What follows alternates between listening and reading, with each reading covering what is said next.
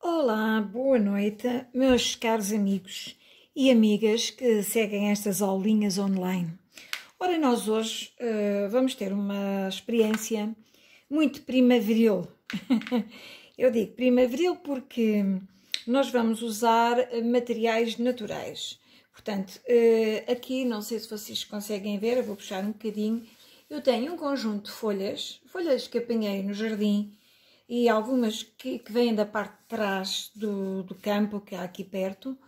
E então eu, eu coloquei estas folhas uh, debaixo de uns livros, não é? Para ficarem mais espalmadas. Estão a ver?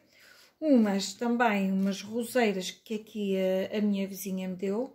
Onde é que estará a roseira? Está por aqui. Isto, estão a ver? Uh, umas folhas de limoeiro que também me deu. Hum?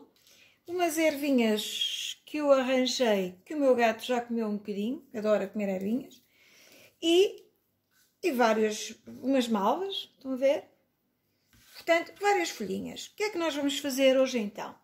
Vamos usar uma técnica muito interessante, que nós usamos até para as crianças, mas vamos, vamos usá-la de uma forma mais adulta, mais artística. Vamos ter ao nosso dispor uh, folhas de papel cavalinho, que são as ideais, são aquelas que se usa geralmente para, para os miúdos, para as escolas. E eu dividi o A4 ao meio, portanto é um A, um A8, digamos. Portanto, o que é que fazemos com isto? Aqui eu já coloquei as melhores, e numas cartolinas que eu tinha com cores, a fazer uma espécie de moldura.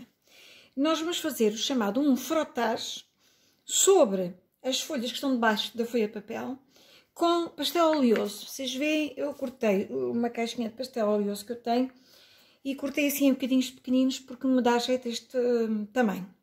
E depois, como sabem, o pastel oleoso é, é gorduroso e a água não entra. E então depois vamos trabalhar sobre as outras zonas do papel, vamos trabalhar com a aguarela.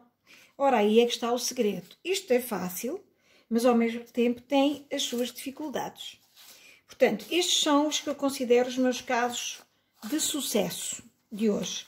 Mas vão aparecer casos de insucesso, como por exemplo estes aqui que não resultaram, vê?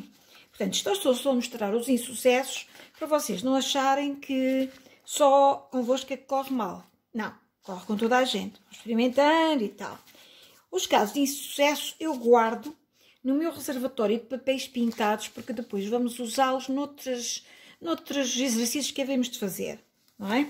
Hoje vamos, portanto, partindo do princípio que se consegue em casos de sucesso, vou fazer uma demonstração ou duas de como é que isto funciona. E depois vocês irão uh, fazer uh, como vocês quiserem, com as plantas que quiserem. Não, não convém plantas muito grandes, porque não dá. E flores também não dá. Portanto, tem que ser mesmo com folhas. Então, até já. Eu vou preparar e já falo.